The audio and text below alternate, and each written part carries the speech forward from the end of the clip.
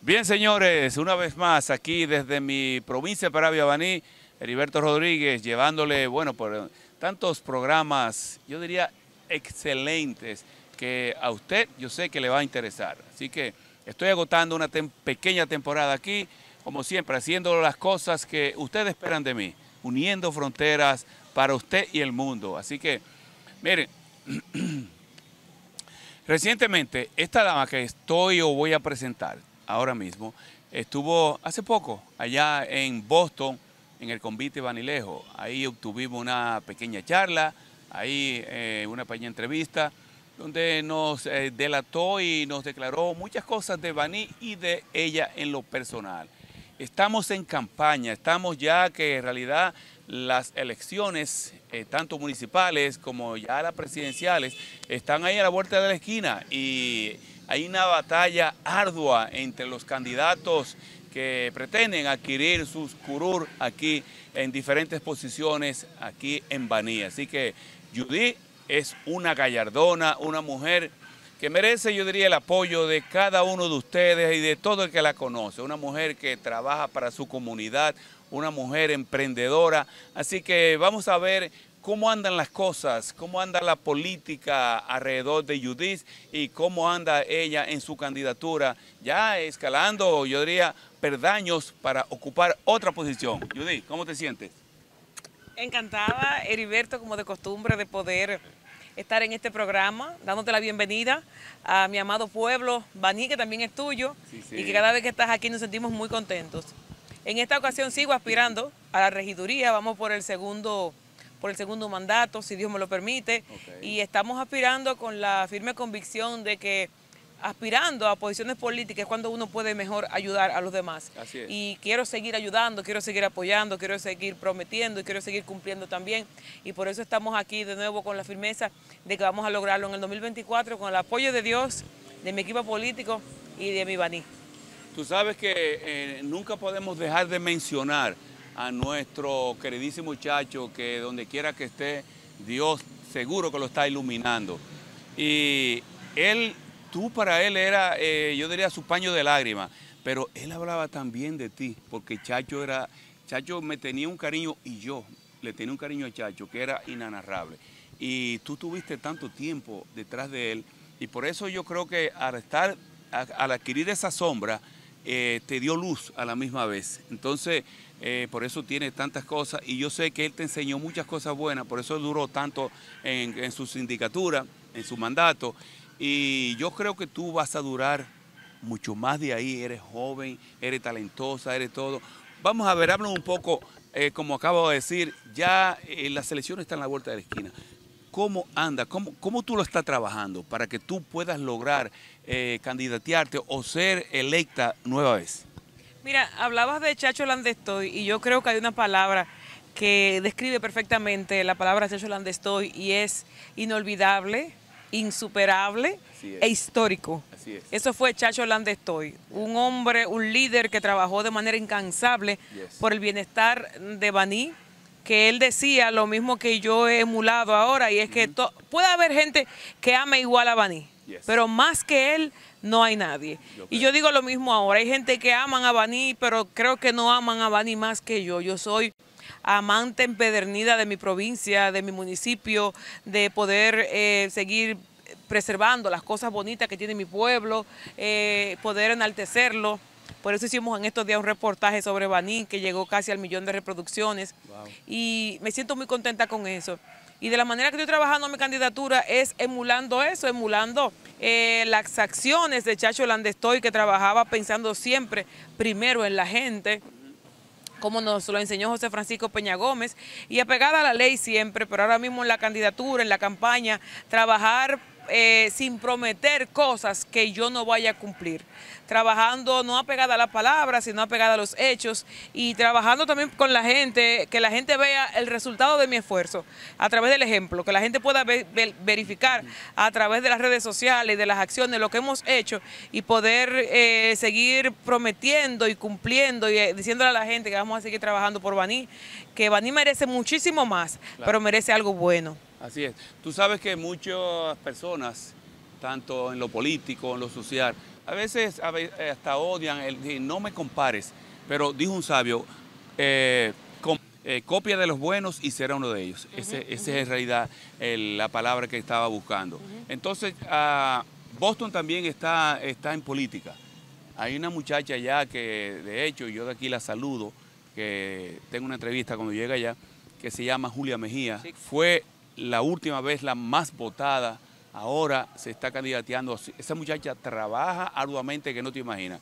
Te traigo colación porque veo que tú estás trabajando tan fuerte como ella. Eso sí que vale la pena y eso la gente lo toma en cuenta cuando tú ves el candidato que no solamente sale a trabajar cuando, para buscar el voto. Es muy importante porque llega un día que tú dices, bueno, ¿qué tú hiciste durante? Tú adquiriste la posición. Es decir, ¿qué tanto tú estás trabajando la posición tuya o la candidatura tuya? Mira, Julia Mejía, sin lugar a dudas, es un referente para todos nosotros. De hecho, cuando Julia Mejía empezó a aspirar, yo también. Ella vino a Baní a dar a conocer sus aspiraciones y también yo estaba aspirando. Ella ganó primero que nosotros y luego nosotros aspiramos y también ganamos. Cuando yo fui a Boston la última vez, ella también nos reconoció a nosotros como persona destacada en, en República Dominicana y yo creo que yo también me siento identificada con su forma de ser porque ella es una mujer que trabaja sin descanso, que trabaja por la gente, que trabaja sin escuchar las opiniones negativas que siempre van a estar ahí, sino que trabaja sin descanso. Yo creo que esa ha sido la parte esencial de esta candidatura mía, que no tiene comparaciones. Yo trato de hacer las cosas muy a mi manera, muy diferente muy sin, sin pensar en que, bueno, ya fulana la hizo de esta forma, yo tengo que hacerla así. No, no, yo pienso, espérate, yo tengo que hacer las cosas diferentes. La gente quiere algo diferente algo diferente como el senador que yo apoyo, Raúl Lara, algo diferente como el presidente que yo apoyo, eh, Miguel Vargas Maldonado, algo distinto, y eso es lo que la gente ve, y por eso la gente te sigue sin importar el partido político al cual tú aspires, sino que la gente lo que quiere es ver algo diferente y eso es lo que estamos dándole. Una candidatura sin enfocarse en promesas que no se vayan a cumplir, sino más bien en acciones antes de las palabras. Tú acabas de hablar de algo diferente. Eh, ¿Por qué razón? ¿Por qué te inclinaste? ¿Por qué apoyas a Raúl Lara? Bueno, yo apoyo a Raúl Lara sin lugar a dudas porque es algo diferente, algo basado en las promesas cumplidas y en realidades. Raúl Lara, como lo dice su eslogan, es algo diferente porque es un político que viene trabajando en base a solucionar las necesidades de los más necesitados. Raúl siempre está presente, Raúl resuelve, Raúl apoya, Raúl gestiona, Raúl exige y también defiende. Es una cara joven, una cara nueva, algo, o sea, algo que realmente la provincia Pravia lo necesita. Nosotros no tenemos senador, tenemos mucho tiempo sin tenerlo y yo creo que es, es menester que tengamos a alguien con la capacidad, con la fortaleza, que sea de aquí, de Baní, que sea transparente y que realmente Baní lo está pidiendo a gritos y yo estoy donde está Baní. Yo estoy del lado de Baní y Baní ahora mismo está exigiendo, está pidiendo a gritos que sea Raúl Lara y lo ha demostrado porque él apoya él quiere a la gente cercano, eh, la gente lo quiere, la gente lo admira, la gente lo ama. Y yo creo que por eso yo voy a apoyar a Raúl. Carisma, Tiene sí, mucho claro, carisma, tiene carisma, la gente conecta, el tipo conecta con la gente. El tipo llega a un lugar y todo el que está ahí quiere irse encima a él. ¿Por qué? Porque él, él como que jala a la gente. No es de este tipo de político que tú lo ves y tú lo encuentras como con 60 mil seguridad y que tú no puedes llegar donde ellos. No, no, no. Raúl Lara es una persona que conecta con la gente, con los pobres, con los envejecientes, con las madres solteras, con los jóvenes, con los viejos, con todo el mundo. Y yo creo que eso es lo que la gente está buscando ahora, porque es que la política cambió. Ya la gente no anda buscando políticos con poses, la gente quiere unos políticos reales. Lo entrevisté en Boston y vi cierta carisma que él, demanda, que él demana dentro de, su sonrisa, de su forma de expresarse. Eh, y muchas personas se acercaron a él durante, lo estuve entrevistando. Eh, a, pesar de que recién lo conocí, eh, le vi mucho futuro en él. Esperemos en Dios que, se le dé lo que él está persiguiendo, que es la senaduría ¿no? de, aquí de, de, de Baní dándole seguimiento a esa respuesta que tú me acabas de dar, tú que estás en el medio, eh, bregando con la gente, escuchando el sentir de la gente, el grito de la gente, ¿qué Baní necesita que tú puedas ver, par par, necesidades, nómbreme algunas de ellas, porque todos los pueblos, provincias y comunidades siempre están en necesidad. Mira, Baní necesita, Baní como municipio, vamos a empezar a hablar como municipio, Baní necesita una funeraria municipal, un lugar donde las personas de socialmente vulnerables que no tengan acceso a quizás no tengan quizás el poder económico que tienen otros, tengan la oportunidad de velar a sus muertos en un lugar seguro, en un lugar amplio, en un lugar económico. Baní necesita también más apoyo referente a las madres solteras que las madres solteras como jefas de hogar que son, según lo establece la ley 176-07, tengan el apoyo que merecen de parte del ayuntamiento y de parte de las autoridades municipales. Baní necesita una escuela municipal de inglés donde los jóvenes puedan aprender inglés de manera gratuita, pero que se abra un poquito más el foco para que más jóvenes tengan acceso, porque aquí también está inglés por inmersión, pero hay que agotar una serie de requisitos. Y Baní necesita eso. Baní también necesita un albergue para animales, donde los animalitos que andan por ahí indefensos puedan tener un lugar que se puedan recoger para tenerlos ahí en un lugar seguro, para que no sufran tantos maltratos. Baní necesita muchas cosas, también necesita que le ayuden a los padres, a las madres cuando vengan los momentos de, los útiles escolares, no solamente entregarles los útiles por se. O sea, apoyo más que nada. Y la provincia, la provincia necesita apoyo, necesita, necesita quien lo defienda, necesita un centinela, necesita un defensor, una gente que lo pueda apoyar en los momentos más difíciles. Y por eso yo creo que en el PRD están los candidatos adecuados para poder lograr eso. Así es. Eh, estuve eh, chequeándote porque te sigo en las redes sociales y vi que te galardonaron eh, desde México. ¿Cómo se da eso? México, aquí en Baní, Judith ¿Cómo llega esa premiación hacia ti? Háblame un poco de esto para la gente que te está mirando. Mira, eh, la Asociación Mundial de Regidores, eh, que tiene su sede en México, hizo una evaluación de diferentes regidores a nivel, a nivel mundial.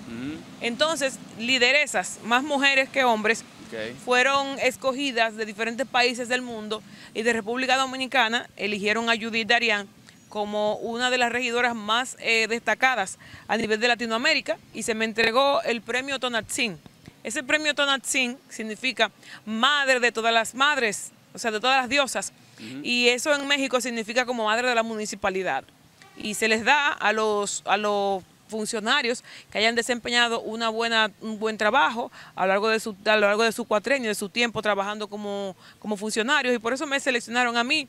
Y según lo establecido por Galo Limón, que es el presidente de la asociación, dice que por las funciones mías, por el desarrollo, por cómo yo me, manejo, porque, porque he trabajado en base de todos los cuatro ejes que se necesitan para ser regidor, etcétera. Entonces yo creo que lo recibí con mucha satisfacción y más que nada muy agradecida, pero tanto más que nada con mi partido, porque me han, apoyado en cada uno de los proyectos que yo he tratado de trabajar y por eso yo creo que estoy muy contenta por el apoyo que me da mi partido, porque como joven que soy, el PRD de manera estatutaria ha apoyado a los jóvenes a nivel de toda su historia, desde el 25% de todo su, su matrícula, siempre joven, entonces por eso estoy muy contenta con este con ese premio, que se lo dedico a Bani.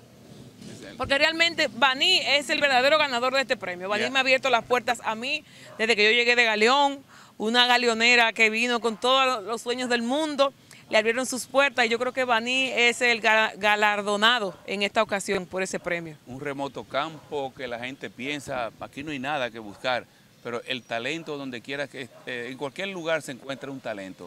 Lo que hay que tratar de explotarlo y ponerlo en práctica como tú lo has hecho. Yo de hecho te felicito, te felicité en las redes y yo me siento orgulloso de ti como dominicana, como vanilejo que soy, que estoy en playas extranjeras, escuchar eso tiene mucho que decir. Yo de hecho te doy las nuevas felicitaciones.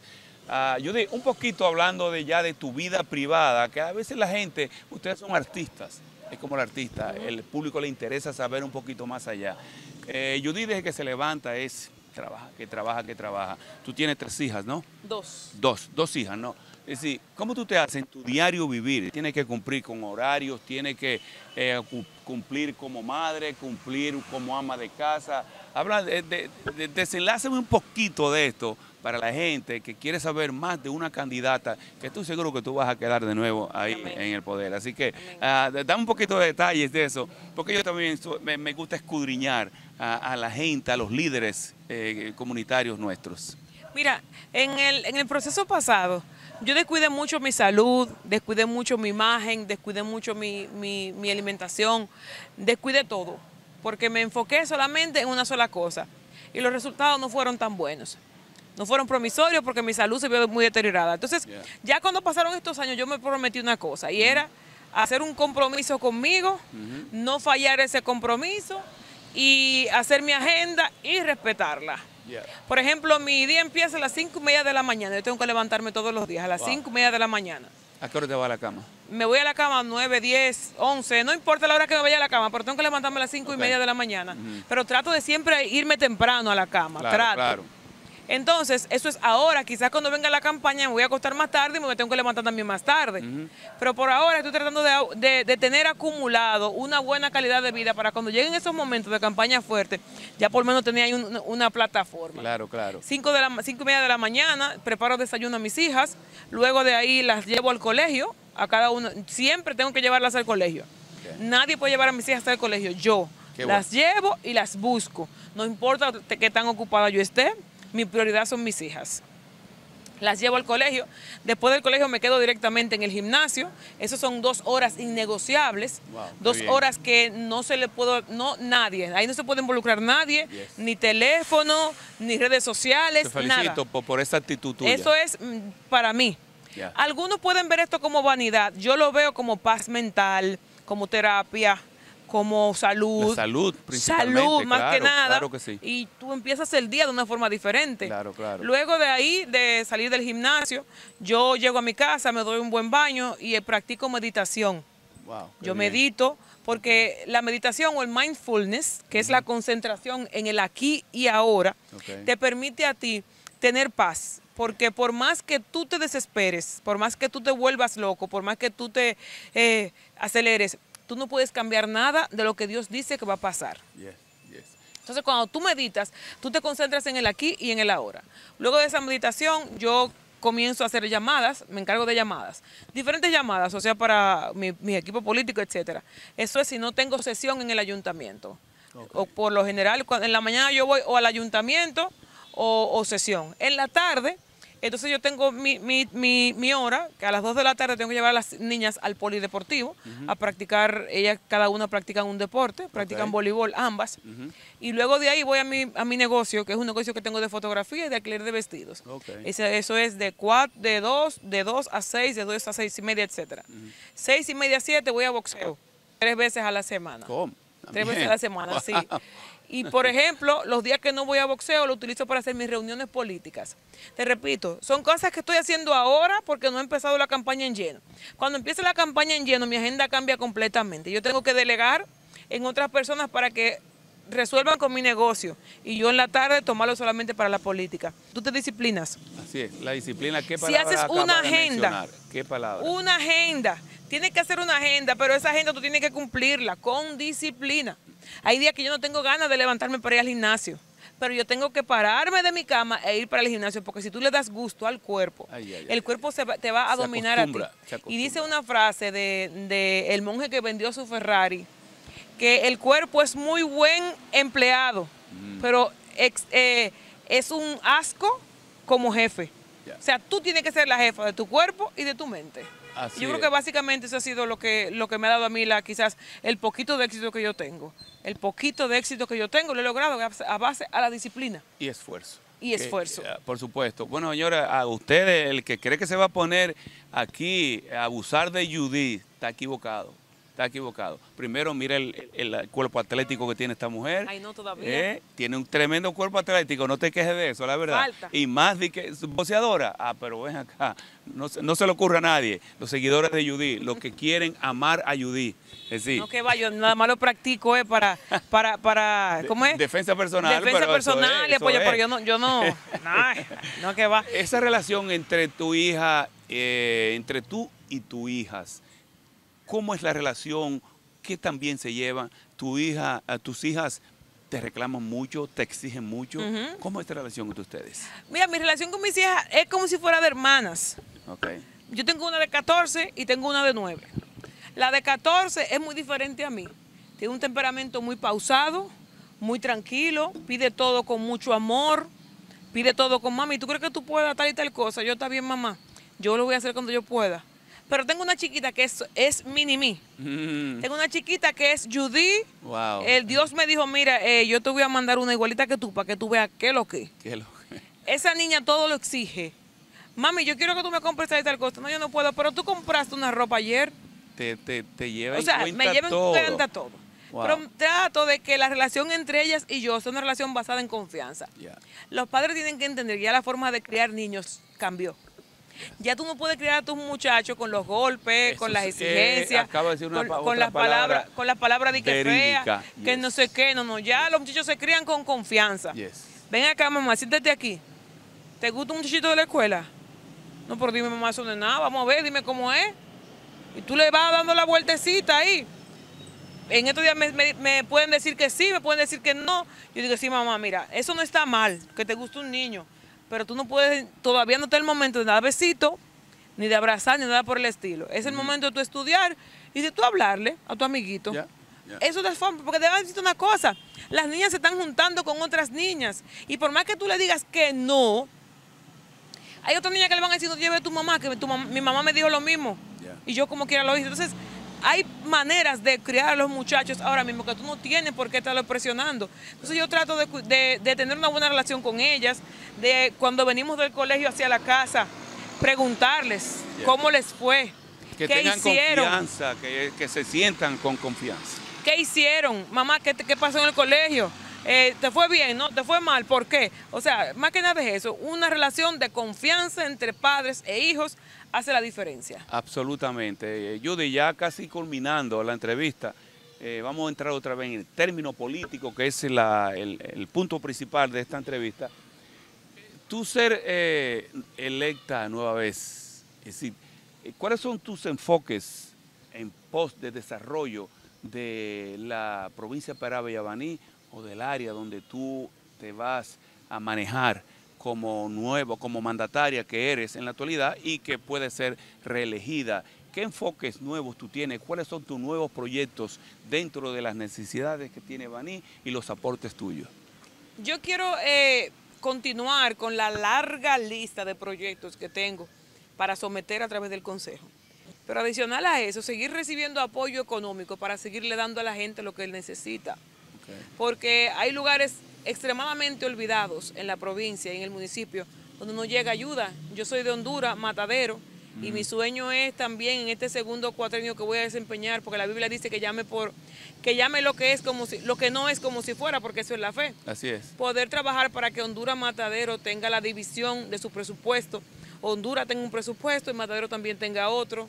Que Honduras tenga algunas cosas que necesita, como resolver el tema del agua y de Matadero también, angostura, eh, solucionar el, el tema de algunas precariedades que ellos tienen, poder gestionar a través del ayuntamiento una funeraria municipal, que podamos tener los servicios básicos, claves, luchar, seguir siendo una guerrera del, del municipio y trabajar sin descanso por las madres solteras, por los grupos socialmente vulnerables, por los pobres, obviamente, y seguir defendiendo para que Baní sea una ciudad ordenada, que se respete el plan regulador, que se respete el tema de los parqueos, que la calle donde está el grupo médico pueda ser solamente para vehículos transitar, que no se parquee nadie por ahí. Muchas cosas que queremos seguir haciendo y que las vamos a hacer porque yo creo que los pueblos tienen los gobiernos que se merecen y Baní va a saber elegir. Baní, no es tonto y Baní se ha dado cuenta que yo tengo cuatro años que gané, pero tengo cuatro años eh, haciendo la campaña que están haciendo otros ahora durante estos últimos meses. Porque lo mío no es por campaña, sino porque a mí me encanta ayudar y a mí los abrazos de agradecimiento son mi mayor pago. Qué bien, eso suena muy bello y tú lo dices con un sentimiento que veo que te sale del alma. Eh, casi todas las comunidades de Baní han ido, bueno, el- la evolución de por sí en el mundo, eso viene de por sí a través del tiempo, cómo el hombre va cambiando, las comunidades van cambiando. Baní es, no es excepción, es increíble cómo han evolucionado y han- se han transformado todas estas comunidades de Baní, hasta Llano, Sombrero, Matanzas, eh, Cañafisto, por mencionarte algunas de ellas, eh, ya no son campos, son ciudades urbanizadas. ¿Qué hay? Eh, Honduras y Matadero son dos comunidades adjuntas ahí que, han, que son y han sido la más pobre prácticamente, incluyendo, incluyendo con las tablas, que es una comunidad paupérrima de pobres. Eh, dentro de ese lapso de tiempo del desarrollo que hemos estado hablando, ¿cómo ha venido esa esas comunidades, hablo de Honduras y, y Matadero, ¿qué, progreso han tenido a pesar de la necesidad que tú acabas de mencionar, pero qué progreso han tenido a través de ese lapso de tiempo que ya mencioné? Mira, nosotros, yo, yo recuerdo en el gobierno del presidente Danilo Medina hace cuatro años, se les hizo las calles, se le, se le asfaltó las calles. Durante este gobierno, durante este gobierno, no se ha hecho la primera obra de envergadura para Honduras Matadero. No se ha hecho. Ni ha sido olvidado prácticamente. Ni a través de lo municipal, ni a través de lo presidencial, ni lo congresual. Yo creo que, en, Honduras Matadero no le, no le han visto la cara nunca al actual senador. Sin temor a equivocarme. Y si se la han visto, se la han visto quizás una vez. Nunca. Están construyendo ahora el centro comunal, pero el centro comunal de Matadero se aprobó en la gestión de Chacho. Ya tienen cuatro años y no va ni siquiera por el 50% del centro comunal. Se aprobó comenzar con el centro comunal de Honduras, que hay que sacarle su plato aparte en ese sentido a Santo, porque Santo fue democrático y muy, o sea, apoyó este proyecto, aunque algunos otros de los regidores no quisieron, pero él dijo que sí y de hecho me prometió, de, yo le pedí, le dije, mira el Santo, yo quiero que tú me le des una ayuda a Honduras para que avancen con ese, con el centro comunal. Claro, Porque estamos parados, vamos a ver lo que vamos a hacer. Él me dijo, sí, Judy, no te preocupes, que la vamos a poner una partida para que el próximo año o para este año tengan un poquito más avance. O sea, que tengo que agradecerle a él. Porque yo soy de la política, que yo soy completamente diferente. Si yo sé que una persona está haciendo algo bien, aunque esté contra mí, yo le, se la voy a dar. Porque yo no tengo que hablar nada negativo de los demás para yo poder tener éxito. Yo lo que tengo que hablar es todo lo positivo mío. Absolutamente. Y si yo comienzo a hablar de lo positivo mío, yo no tengo, no voy a tener tiempo para hablar de lo demás porque yo tengo tantas cosas positivas para hablar de mí que no voy a tener tiempo. Por eso te digo que todo el que habla negativo de mí es porque no tiene nada positivo que hablar de él. y hay que entenderlo. Y la Biblia dice que hay que tenerle misericordia a los pobres.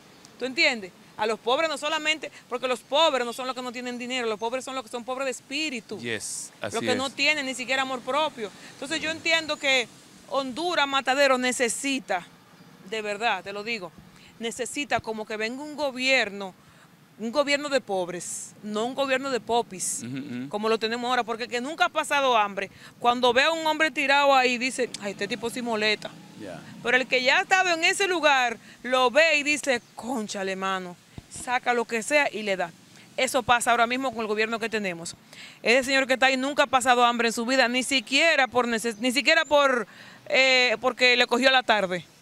Ni siquiera así, porque ese no sabe. te digo la verdad, yo creo que ese nunca, ese no sabe lo que es el hambre. Ese nunca, nunca ha sentido el hambre. ni le ha pasado ni le ha sentido. No, pues ah, conociendo el pueblo de dónde viene. Y, necesitamos un gobierno, un gobierno que pueda ponerse en el, en el, ahí, en la posición del pobre y que ayude a los pobres. Yo siempre he dicho que nosotros necesitamos una gente de verdad que nos gobierne.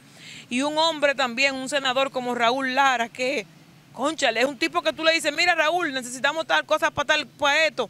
No tiene que ser con dinero, hasta con materiales de, equipo para limpiar un, solar. Y Raúl busca donde sea, no lo tiene, lo busca.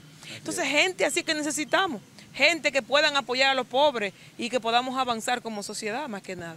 Tú sabes que se hace camino al andar y las personas se determinan de acuerdo a esa trayectoria, ese background como llamamos, de X personas. A ti no te puede gustar un artista, un político, pero escudriña qué ha hecho ese político o ese artista para poder llegar a la aceptación del público. Y de eso se trata, esa trayectoria que tú has enmarcado durante tu, estadía, tu carrera y, el desarrollo que tú hayas tenido.